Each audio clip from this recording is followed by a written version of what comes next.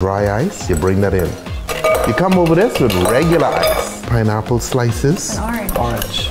Well, hey, I don't know my fruits, okay? You know how it is. Vodka. One, two, three. Tequila. One, two, three. We got gin and we got rum. Let's go together.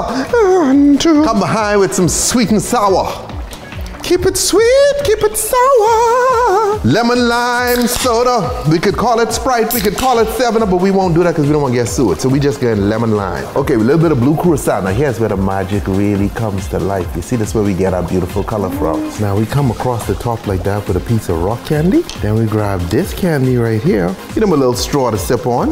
You get what I'm saying? And there you have it, the Adios Sugar Goblet Ice Cold. Two colors I love, this blue and pink, all right? Yeah.